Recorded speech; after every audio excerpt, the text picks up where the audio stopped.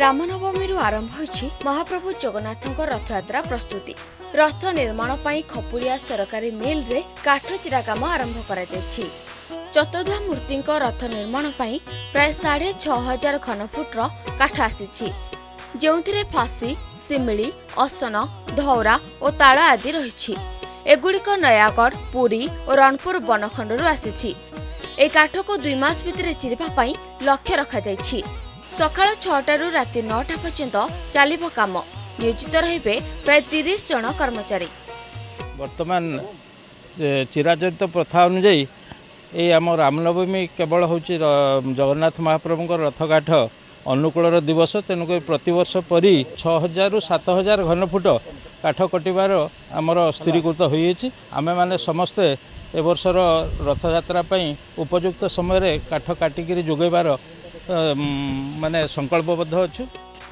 ମଙ୍ଗଳବାର ଅପରାହ୍ନ ଚାରିଟାରେ ପୁରୀ ଶ୍ରୀମନ୍ଦିରରୁ ଆଜ୍ଞାମାଳ ଆଣିଥିଲେ ଶ୍ରୀମନ୍ଦିର ପରିଚାଳନା କମିଟିର ଆଠ ଜଣିଆ ସଦସ୍ୟ।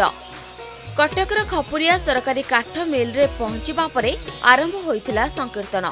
ଶ୍ରୀମନ୍ଦିରର ଦୁଇ ମୁଖ୍ୟ ମହାରଣା ଆଜ୍ଞାମାଳ ନେଇ ପହଞ୍ଚିବା ପରେ ପୂଜାର୍ଚ୍ଚନା କରାଯାଇ ଆରମ୍ଭ ହୋଇଥିଲା କାଠ ଚିରଟ କାମ। ରଥର ଚକ ଅଖ ପହି ଆଦି ନିର୍ମାଣ ପାଇଁ ଏହି କାଠ ସବୁ ଲାଗିବ।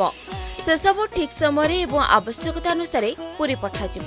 ଆମର ପୁରୀରେ ରଥ ନିର୍ମାଣ ପାଇଁ ଆଜି ରାମନବମୀରେ ଶୁଭ ଅନୁକୂଳ ହୋଇକି ତିନି ବାଡ଼ର କାଠ ଚିରଟା ଆରମ୍ଭ କରାଗଲା। ତ ଅନୁମାନ ଆମକୁ ଅଢ଼େଇ ମାସ ଭିତରେ କାର୍ଯ୍ୟ ସମାପ୍ତ କରିବାକୁ ପଡ଼ିବ। ଶ୍ରୀମନ୍ଦିରରୁ ମହାପ୍ରଭୁଙ୍କର ଆଜ୍ଞାମାଳ ଅଣାଯାଇ ଖପୁରିଆରେ କରତକଳ ପାଖରେ ପାଞ୍ଚ ଛଅ ପ୍ରକାର କାଠ ଚିରା ହେବାର ବ୍ୟବସ୍ଥା ଅଛି। ସମସ୍ତ କାଠ ଏଇଠି ଚିରା ହେବ।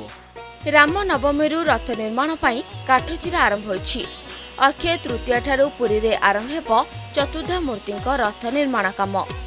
କଟକରୁ ସତ୍ୟଦୀପ କର ଓ ଅକ୍ଷୟ ପ୍ରଧାନଙ୍କ ରିପୋର୍ଟ ଏମ୍ବିସି ନ୍ୟୁଜ୍।